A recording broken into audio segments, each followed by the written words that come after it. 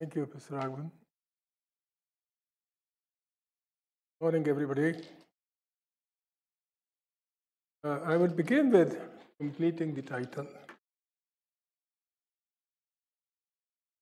First lesson we learn in group theory is that every group is a quotient of a free group. By that result, every group ring is a quotient of a free group ring. I want to take you outside the finite group theory that discussed mostly. That S dot that you see is a word for Singh, which is a common middle name in some parts of India, particularly in Punjab. The three institutions that you see are all in northern part of the country for the benefit of colleagues from outside. Punjab University Chandigarh is my alma mater for masters. And the Indian Institute of Science, Education and Research, these are new institutions which have come up in the country starting with 2006. And Ashoka University is another new institution, a private university about 40 kilometers from Delhi. These are all northern uh, institutions. Okay, I would like to dedicate this talk to the memory of two of my late friends, Chandrakanta Gupta and Narayan Gupta. Uh, both of them were at the University of Manitoba in Canada. Very strong group theorists, both of them. I visited them several times. They visited wherever I was in India or outside. Both were fellows of the Royal Society of Canada and became distinguished professors in their university. So I'm not sure most of them, most of you work in free group rings. This is one monograph of Narayan Gupta, which he wrote, which is published in 1987 under the title Free Group Rings.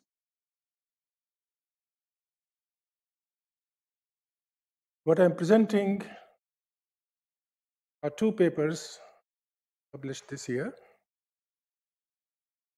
with Roman Mikhailov, who was invited here, but perhaps for some reasons he could not come. The first one is uh, Narayan Gupta's three normal subgroup problem and group homology, published in the Journal of Algebra Second one is dimension quotients, Fox subgroups, limits of functors, published Forum Mathematicum, both of them this year. So, suppose we have a free group, and you take its integral group ring, and then for every two-sided ideal in ZF, you get a normal subgroup of F, which will naturally be free, being a subgroup of a free group, consisting of those elements of the free group for which if you subtract one, then you land in A, that ideal. And uh, the identification of such normal subgroups, free groups, is a recurring problem in the theory of group rings. The story began with a work of Magnus. Then he took the free group into the ring of formal power series in that many variables as the number of generators in F. And embedded the free group in the group of units of formal power series in non-commuting variables as many as the number of elements in the basis and used that to prove that the free group is residually nilpotent, that the lower central series of F will intersect identity. And on the way,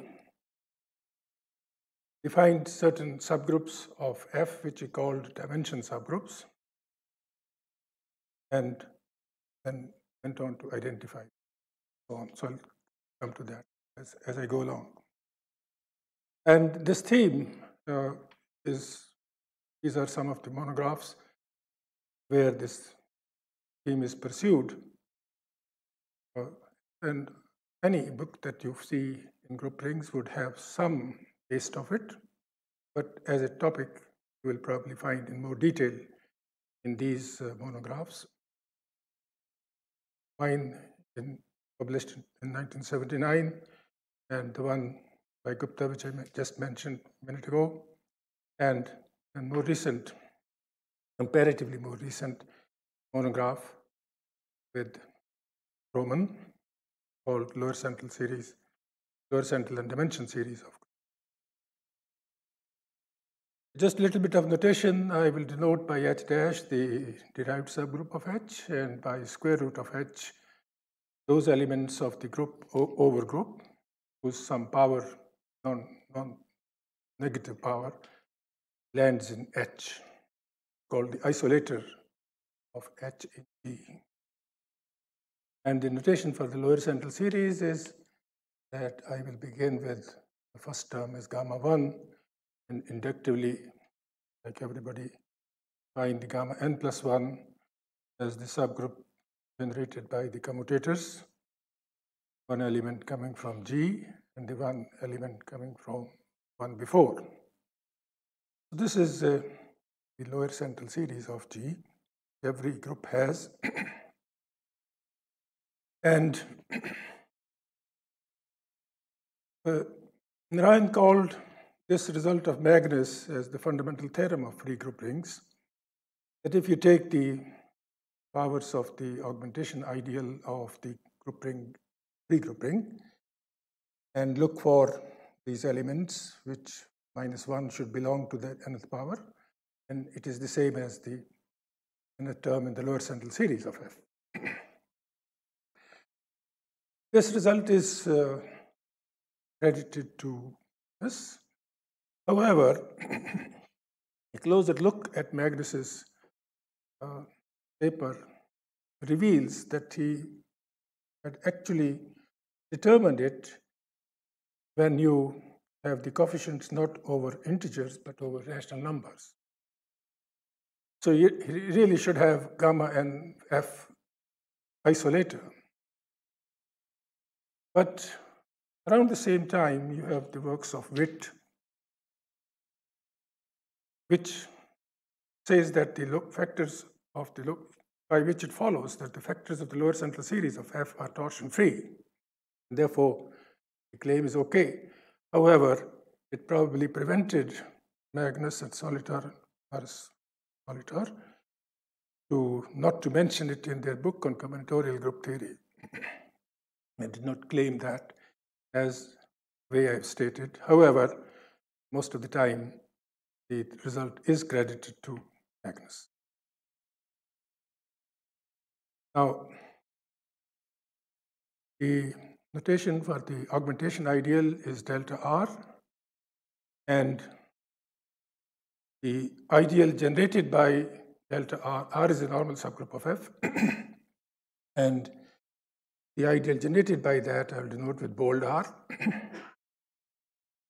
so this is the two-sided ideal of ZF generated by elements of the type small r minus 1 with small r coming from from capital R, normal subgroup. So that's the notation for the bold R. The two of the problems which uh, in the subject have been of interest and have been widely investigated.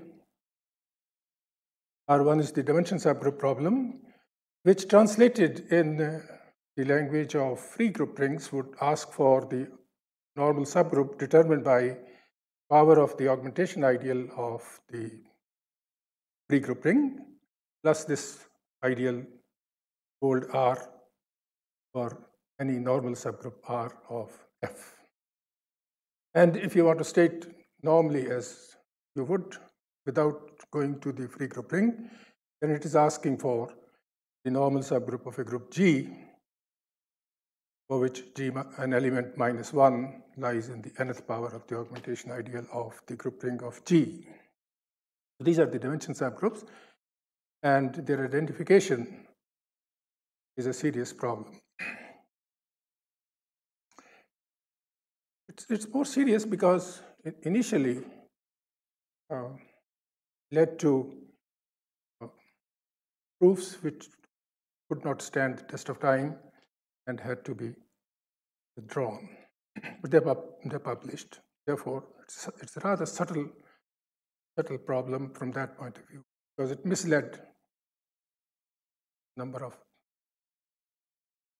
The other is the Fox subgroup problem, which is asking for the identification of the power of the augmentation ideal multiplied by an augment, the augmentation ideal of the normal subgroup. And so, as a warm up, you can see that if you take the normal subgroup determined by bold R, then it will just be the normal subgroup R because you just go under the map that takes you from F takes you from F to F mod R. And so anything which is sitting in 1 plus bold R would be in normal subgroup R.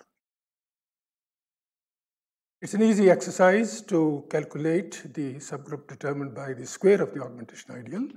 It turns out to be the derived subgroup of F, which in the free group ring would read like the next line. and without that, it will read that the second dimension subgroup of any group G is the derived subgroup. This incidentally is uh, something that you come across as you begin your study of homological algebra. Then you calculate the first homology of a group, integral homology. Turns out to be G made abelian. Next one, you see that if you take f cube plus r, then the answer is third term of the lower central series times r. The subtlety here is that f cube will determine gamma, q, gamma 3 of f by Magnus. R would determine, bold R will determine normal subgroup R. But when you add the two ideals and go to a bigger ideal, then what is the guarantee that the normal subgroup determined would just be the product of the two? Uh, this was a result which Higman, Graham Higman had noticed and had communicated to David Rees. So when I was working on my thesis, mentioned, so it finally finds publication in, in my thesis published in the Journal of Algebra, 1968. And in general, it would say that the third dimension subgroup is the same as the third term of the augmentation idea, uh, of the lower central series of G. now, if you multiply F and R, then it's an old result that it will determine the derived subgroup of R. And now if you take two normal subgroups, R and S, then what does that determine? And you see these, these authors. Enright is the first one who noticed that the subgroup determined by R times S would be the commutator subgroup of the intersection of R and S.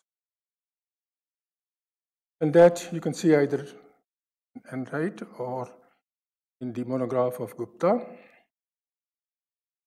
Now, if you go to three normal subgroups, so you have a free group F and you have three normal subgroups R, S, and T, and you take the augmentation ideals of all three of them and take the ideal generated by the product in the, in the free group ring of F, then what does that determine? This is a problem posed by Narayan Gupta in his monograph. And so that's why I have called, we have, Roman and I have called it Narayan Gupta's three normal subgroups. What does it determine? Before we took it up, I'll, I'll summarize for you the progress done until then. Our objective is this the homology of groups and derived functors of non-additive functors can provide a useful tool for investigating normal subgroups determined by ideals and free group rings. that is the punchline I want to bring to your notice that these techniques of homology and derived functors of non-additive functors can give you something useful if you are interested in group, in, integral group rings and their properties. This is the theme we have been pursuing for some time now, two of us, and these are some of the papers which we have published. One is on generalized dimension subgroups and derived functors in the Journal of Pure and Applied Algebra. One is the subgroup determined by a certain ideal and free group ring in the Journal of Algebra. And then Roman gave a talk in the European Congress of Mathematics at Berlin. This is the published version of that, the third one.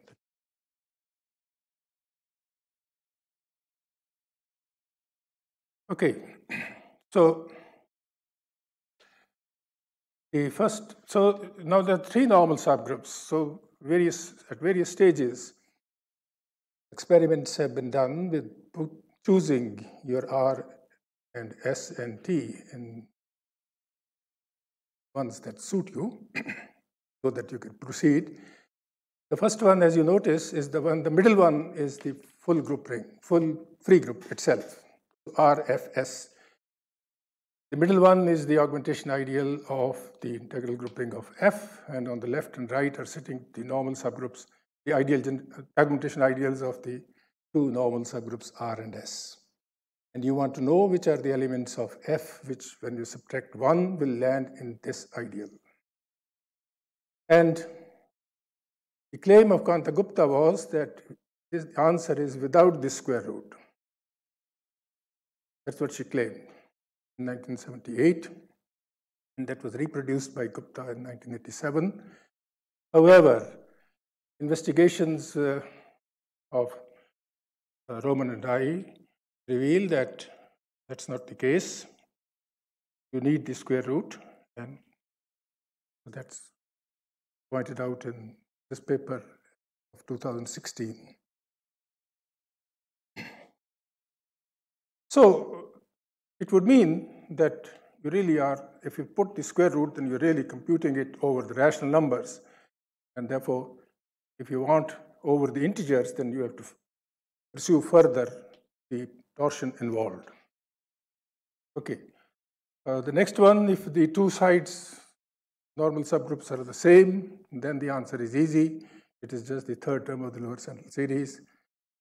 And then there was a, another paper of uh, Stöhr, published in 1984, that if the two, two side ones are the free group itself, then the answer is the square root of the isolator of the derived subgroup of R and F, the, the commutator of these two and its isolator. And his methods were homological. Okay, so if the two left ones are F, then this is the answer. This was noticed by Enright early and is available in Gupta's monograph. And then from F, if you take an arbitrary normal subgroup R on the left side, so R, RS, then this is the answer, which in a way generalizes the result on the first line. And this is due to Ram Karan, Deepak Kumar, and Vermani, published in 2002. So if you define this isolator for three normal subgroups, then these results are essentially pointing out that the answer for the normal subgroup determined by RST is this square root. so that's why I put a question mark. So that's the question which arises, is this always the case or not? So the contribution that we have is to the case when one of the left ones is contained in T. So you have three normal subgroups, R, S, and T, and R is contained in T. And by the usual anti-automorphism present in the group ring, it is the same as, the problem would be the same as the right one being contained in the leftmost one. So if you can identify this, then you would have answered, coupled with the results that I've already quoted, that the answer would be that if one of the two, one, one of these three is contained in either of the other two, then that, that would that problem would be completely done if you can solve this case. Okay. So this is the result that we have here.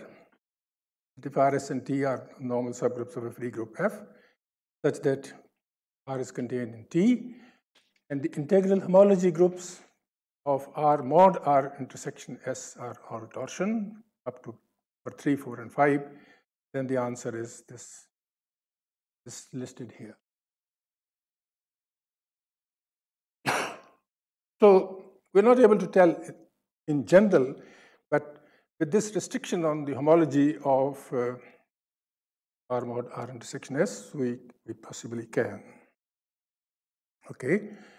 Well, I will give you some idea of the kind of things that go into it, but will not be able to prove it, prove things for you. Uh, suffice it to mention that the methods are homological, combinatorial, all mix of everything. Ultimately, you want to say that this is the normal subgroup determined by. Okay, so I'll give you a taste of that kind of things that, that get involved.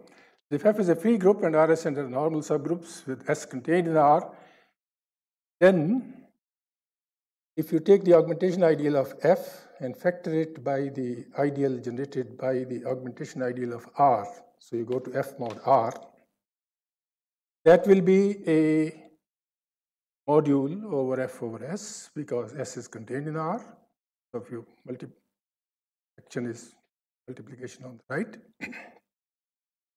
then it turns out to be this quotient of ideals in the group ring of Z of F. How do you get it? So since some every talk should have some idea of proof, I will give, indicate the proof of this one, but not most of the results which I will state.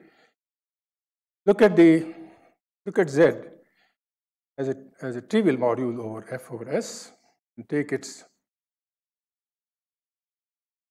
projective resolution, the one given by Gruenberg, called the Gruenberg resolution of Z as an F over S module. And then you calculate the homology of second homology with f over s as coefficients using this, then you immediately are able to prove the result I mentioned.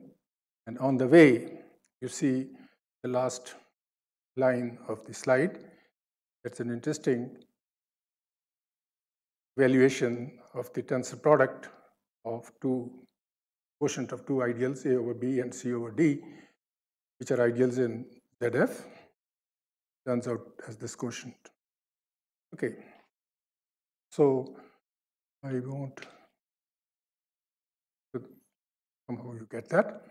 Okay, then crucial in the investigation of this is a result of Ramkaran and Vermani, which helps us to identify the intersection of the product of the augmentation ideal of R, S, and T, and the augmentation ideal of R and R intersection S.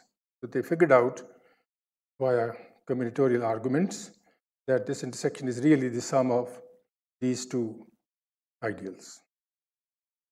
And I won't go stop to give you an indication of the proof, but that's a result which plays some good role.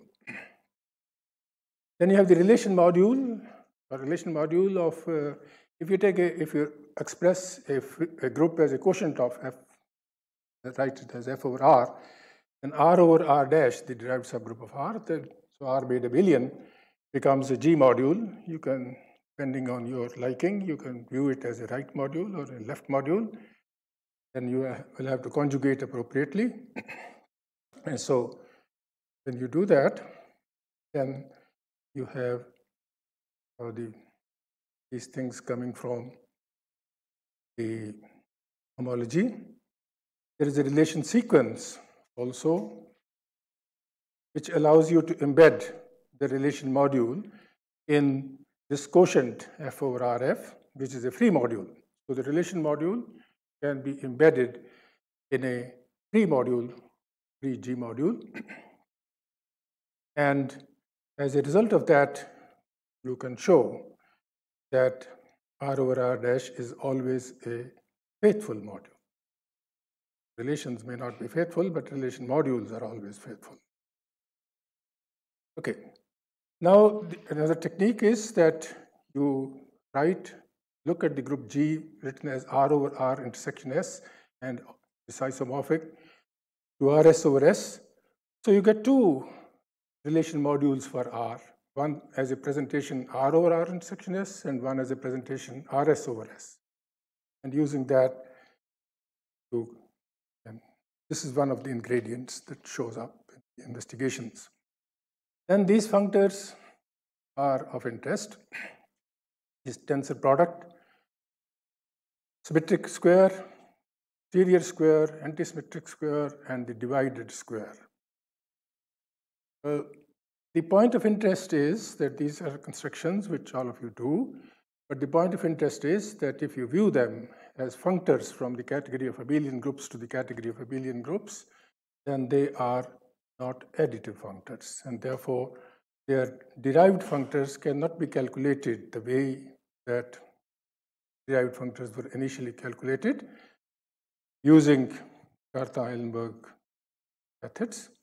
Therefore, you need a new theory to uh, derive non-additive functors, and that involves uh, taking your resolutions more carefully rather than just the usual projective resolution. And it's the derived functors independence from the resolution that you take depends on the fact that your functor that you are applying is additive. If the functor is not additive, then that theory breaks down, and therefore you have to take more finer resolutions which are constructed via simplicial methods using face maps and degeneracy maps. And it also depends, since there are lots of them at each stage, uh, therefore it will depend on where you put your module, in which space place you put. If you begin from the nth stage, so the derived functors, therefore, are not just singly indexed, but they're doubly indexed. Anyway, so you have I've recalled for you the definitions of these functors and go on. Another ingredient is some more homology used using what are called Koszul sequences. So I will not stop here. So the ultimately, the thing boils down to proving that this quotient is a torsion group. That's the use of homological algebra is usually called chasing maps. So there are lots of diagrams and so on. You chase them and ultimately show that this quotient is torsion group, and that shows that claim in the theorem. There are some more results of that type. But, and here is a instance of a group which tells you that it's not always quotient this is non-zero, so not always given going to be given by that isolator. Okay. Stöhr proved this result, as you see this theorem due to Stöhr, which said that if you take an element of the free group, which minus 1 is in FRF, then its square will land here, R square F plus FR square. It's an interesting result, but his methods were homological and difficult to follow. Uh, and, and the result is implicit and not specifically stated also. So we went on, when we were investigating this, we went on to give a combinatorial proof of, of this effect. So we have this in this paper, a combinatorial proof of this result of Stöhr, which was proved by him using homological methods. And also, as, as I said, it's implicit there and not explicit, but it would be fair to give him the credit for it. so that's, that's the reasoning I'm giving that you needed to give a combinatorial proof of this. There are some other results of the same type that we have in this paper. And uh, the general problem in free group rings, of which the foregoing are special cases, ask for the identification of normal subgroups, where you take a product of ideals R1, R2, Rn for normal subgroups R1, R2, Rn, and that would be the most general case, and we are stuck at the stage of three normal subgroups. So here is some progress towards more than three. And the reason I'm rushing through it is that I want to introduce to you another paper that we wrote, which, is, as I said, published in Forum Mathematicum, called the dimension quotients, Fox subgroups, and limits of functors. Dimension quotients and Fox subgroups, I've already mentioned to you. Uh, what are dimension quotients? The dimension subgroups modulo the corresponding term in the lower central series and in same in the case of Fox subgroups, you want to identify what is the what is the normal subgroup generated by a power of the augmentation ideal of f times the augmentation ideal of a normal subgroup. But there are some things which are apparently there, and we want the, the quotient by so these are the Fox subgroups. Limits of functors, I'll spend a minute to explain to you limit of a functor. So this is the same story related as I have already mentioned to you that how the problem arose. This paper of ours is intended to show that the fourth quotient, that means the fourth dimension subgroup of any group G, modulo the fourth term of the lower central series of G, that quotient, which is the fourth dimension quotient, can be realized as the limit of a functor. So I'll take you straight to what is meant by limit of a functor. These are various cases which have been known in this, this case. okay, this is a concept I am not sure most of you would use it in usual mathematics that, that you're doing, but it's a good thing to, to learn. Suppose you have a functor from one category C to another category D. And the limit of this functor is an object sitting in the, in the target category D. And that is an object with the following properties.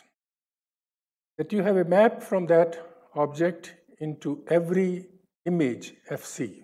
Okay? For every, every object in the category C, you have the object f of c in D. So the limit is an object in the category D with the property that you have a map from that object to every FC. So you have a cone. So you have, this, you have the elements of images of the uh, objects in C under F, so that they're all spread out in D. And you have an object in D from which you have maps to all these. So this is the is a cone with center that object. Okay?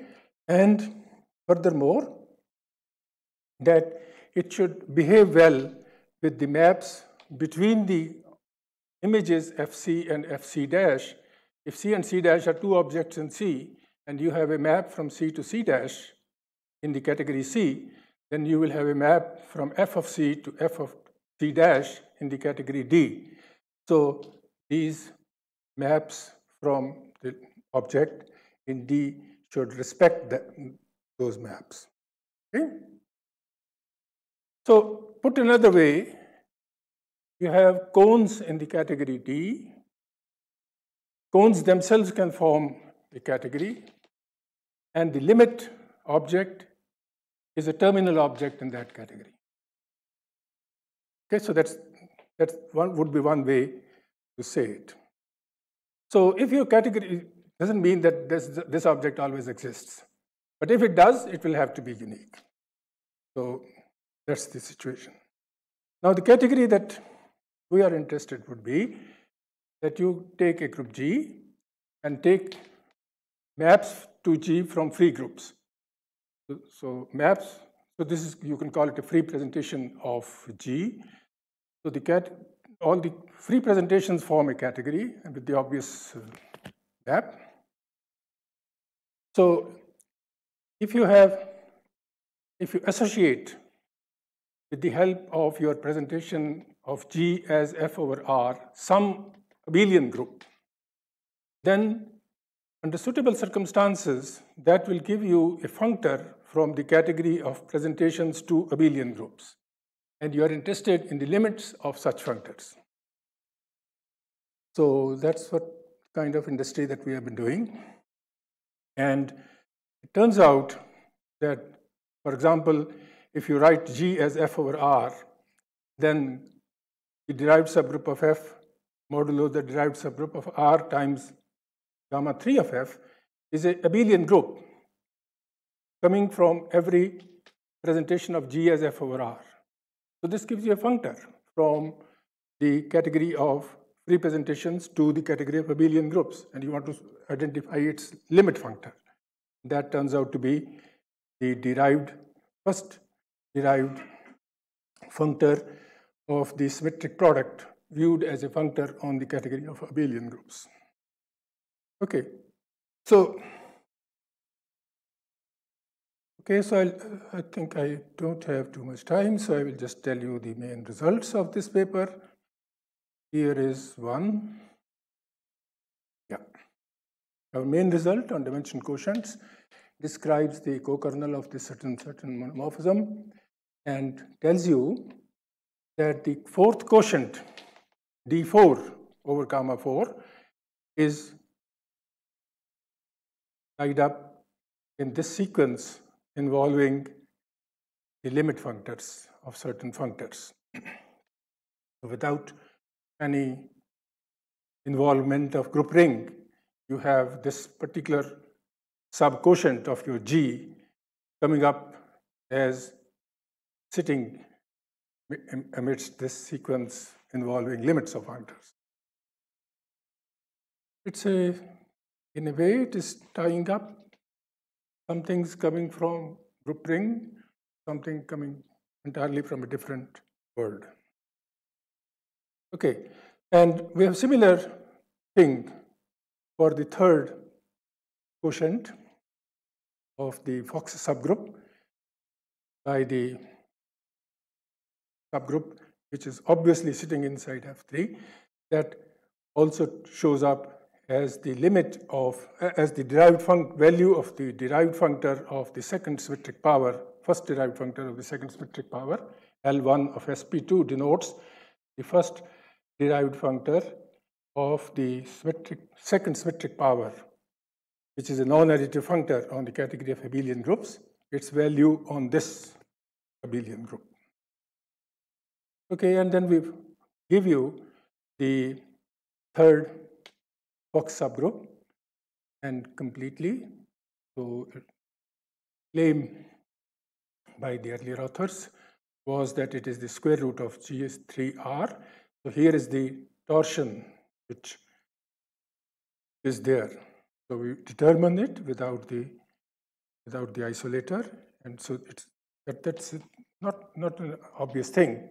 That what is the torsion involved? Because the the when you put the square root, then you're hiding which are the elements whose powers belong to the G3R. Uh, okay, I think I'll.